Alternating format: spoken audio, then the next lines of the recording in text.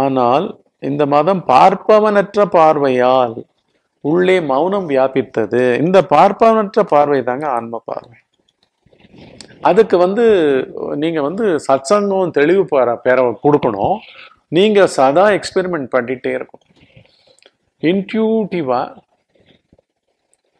வாழ்க்கையினுடைய ஒவ்வொரு உணர்ச்சிகளோடும் விளையாட்டா பயந்து பண்றது கிடையாது கம்பல்ஷன் கிடையாது. என்னவோ நிர்பந்தத்தினால இதெல்லாம் நம்ம படிக்கணும் போல் இருக்கு இதெல்லாம் தெரிஞ்சுக்கணும் போல் இருக்கு. அப்போதான் நிம்மதி கிடைக்கும் போல் இருக்கும் அப்போதான் நம்மளுக்கு மோட்சம் கிடைக்கும் போல் இருக்கு. இல்லாட்டி ரொம்ப டஃப் போல் இருக்கு. ரொம்ப டஃப் ஆக்கிட்டாங்க.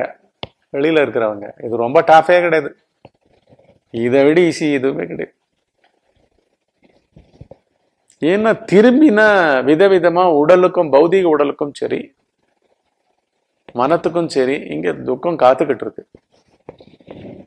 வலிகள் காத்து கொண்டிருக்கின்றன இமேஜ் எல்லாம் வந்து அடிபட காத்து கொண்டிருக்கின்றது இப்படிதானே இருந்துகிட்டு இருக்கு அந்த பார்ப்பவனற்ற பார்வை அது எப்படி வருது?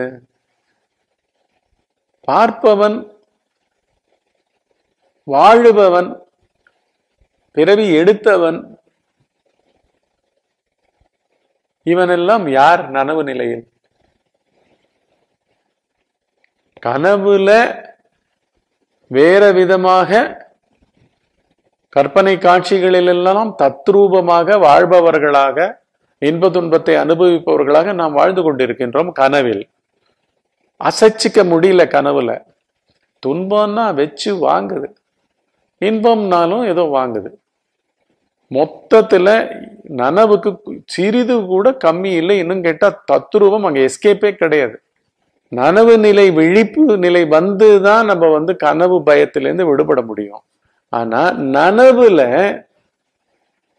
உணர்ந்த குருவை தவிர அவருடைய உபதேசத்தை தவிர அவருடைய வழிகாட்டுதலை தவிர இந்த பார்ப்பவனற்ற வாழ்பவனற்ற வாழுதல் வந்து எப்படி கஸ்டமைஸ் பண்ணிக்க போறீங்க? சும்மா இருப்பவன் கூட கிடையாது. உள் கடப்பவன் கூட கிடையாது. யாரும் கிடையாது.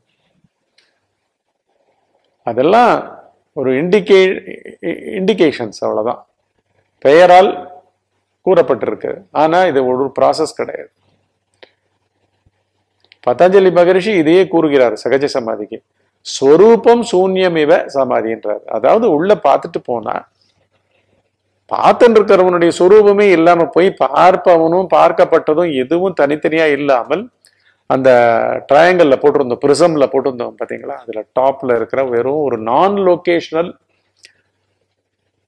வெற்று ஆகாயத்தை போன்று ஒரு ஸ்டில்னஸ் சைலன்ஸ் உள்கடை சித்திச்சுக்கிட்டே இருக்கு. ஸோ உள்கடை உள்கடை தான் இருக்கு. அங்கே அங்க வந்து தொழிலற்று பரம்பொருள் பரபிரம்மம் இறைவன் கடவுள் என்ன வேணா சொல்லிக்கலாம்.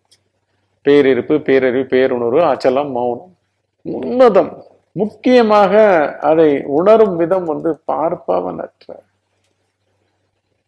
அப்படின்னா ஒருவருடைய லைஃப் ஸ்டைல்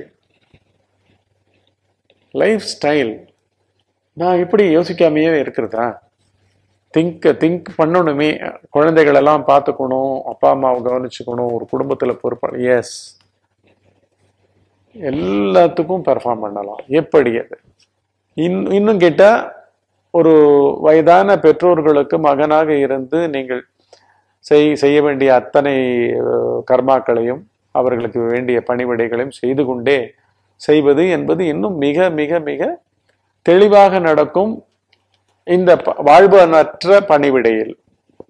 ஏன்னா யோசனைகளால நீங்க வந்து வாழ போறது ஏன்னா அவைகள் விதிக்கப்பட்ட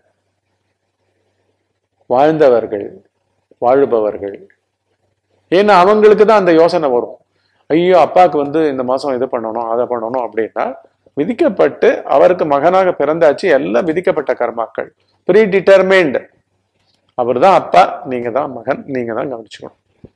ஓகே இதுல கூட ஆர்குமெண்ட் இல்லையே. சாய்ஸ் இருக்கா மாதிரிலாம் நம்ம வந்து கொண்டு போறோம்ல இங்கே? எண்ணங்கள்ல சாய்ஸ் இருக்கு. எண்ணம் வந்து ஒரு சாய்ஸ் கொடுக்குற மாதிரி சொல்லுது. யா எண்ணம் மூலமா சொல்லுவது எது? அகந்தை. அகந்தை என்ன பண்ண பாக்குது? யாரை பிடிச்சி அவங்க கிட்ட அப்படியே அந்த லோடை தள்ளிட்டு ஓடலாமான்னு பாக்குது. ஆனா நம்ம வந்து நம்மளுக்கு கிடைச்சிருக்கிற புதையிலையும் பொக்கிஷத்தையும் கோட்டை விடுறோம்னு நம்மளுக்கு தெரியல. இந்த வலி வந்து அவருக்குத்தான் ஏற்பட்டது. அதனால அவர் தான் அனுபவிக்கணும். ஓகே. சரி. ஒரு பொது பொறுப்பு குடும்பத்தினுடைய பொறுப்பு. அப்ப வந்து சாய்ஸ் இருக்கான்னு கேட்டா எப்பவுமே சாய்ஸ் கிடையாது. யாருக்கு? விவேகிகளுக்கு. விவேகிகள் என்ன பண்ணுவாங்க? அவங்களுக்கு சத்பொருள் என்னன்னு தெரியும். விவேகம்னால என்ன அர்த்தம்?